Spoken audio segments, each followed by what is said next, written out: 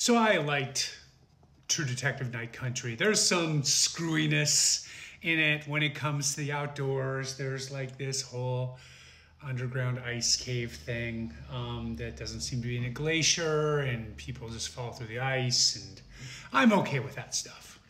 Uh, what I'm not okay with is the uh, uh, the avalanche stuff.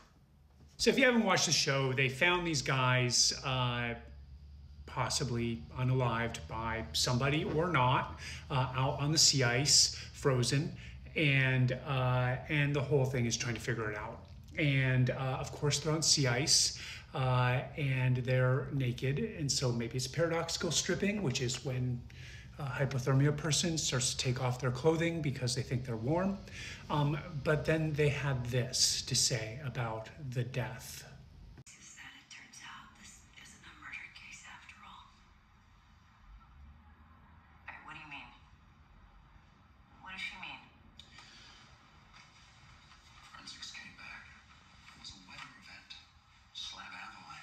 Sudden, moving 100 miles an hour.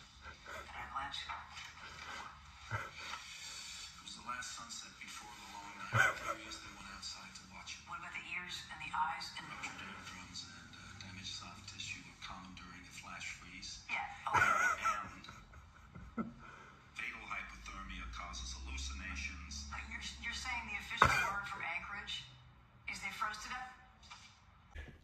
So there's a lot to talk about in that sequence. Um, they uh, later on they talk about how it's a freak weather event. It's not. Slab avalanches are common.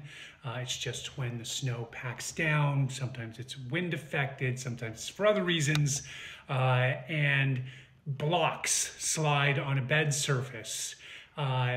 If you're buried in a slab avalanche, you don't flash freeze. Um, also, uh, slab avalanches generally don't happen in flat areas.